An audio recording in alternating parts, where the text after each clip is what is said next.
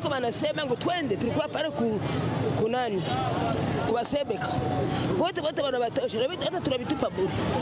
ingo maana hata akuya sasa hivi ndio maana tunakimbia, tulikuwa tunaikara. Kisha ngo tukimbia sie bote. Hatibakiako tabu tuboye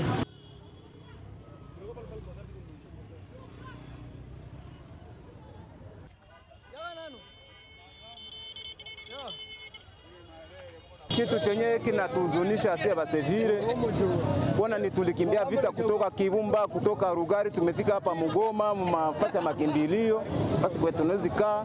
Kufika huku tena, tumekimbia tumesikia masasi hapa yulu kadogo, basi M23 imekui basi wameua mtu hapa yulu, ndio maana hii kaa imetoka yote imezipakula imeenda. Ile ndio shida yenyewe tuko nayo sie population.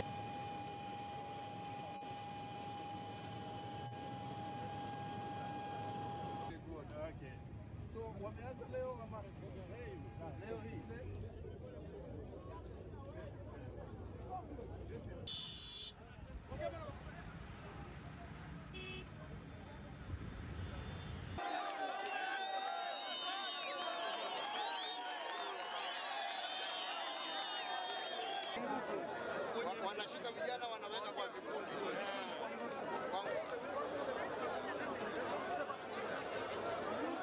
Patanisha watu, lakini nasema tutawapatanisha, lakini jamani.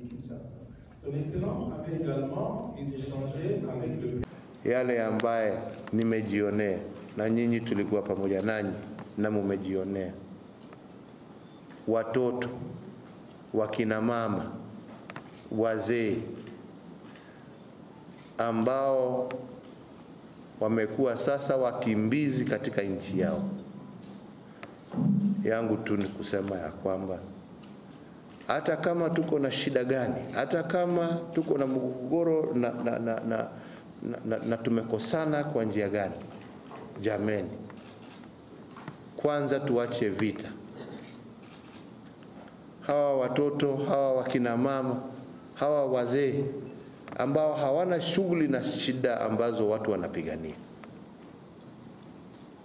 tusikie huruma, tuache vita na tuanze kuongea. Na hiyo leo tu ni hapa ni hapa ni hapa Goma. Hayo Au regard des rumeurs faisant état de la présence ennemie dans la ville de Goma, lesquelles rumeurs sont véhiculées par l'ennemi afin de créer une panique générale au sein de la population. Je vous demande de rester calme et de vaguer librement à vos occupations.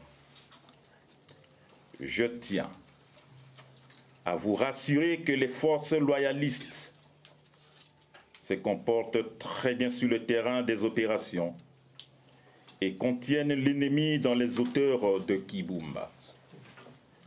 Toutefois, je vous demande de rester vigilant et de résister à l'ennemi.